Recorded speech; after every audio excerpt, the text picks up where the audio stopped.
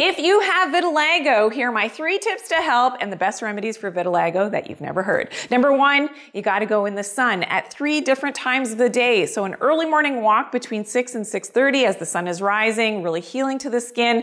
And at midday is really important for that UV to help to build your melanin. And as the sun is setting as well with that red light from the sun to help with the skin's healing. Number two, you've gotta avoid blue light. So that's artificial light from your screens that you're looking at all day and LED lights in your environment. You wanna cover up your skin and protect from that blue light. And number three, you gotta include more seafood in your diet. So oysters are one of the best sources of those minerals that you need, the zinc, as well as your B12, your vitamin C. Eat more seafood, it's gonna help your melanin. Follow for more natural health tips.